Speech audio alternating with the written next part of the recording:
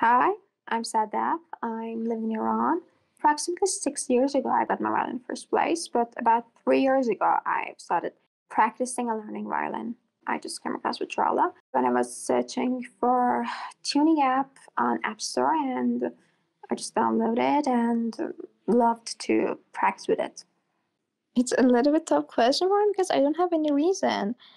I just love violin. I just love the sound. I love the shape of instrument itself. As a child, I remember that uh, watching orchestras was really amazing for me. I just sat in front of the TV and uh, tried to figure out how they do that, how they really play that amazing piece.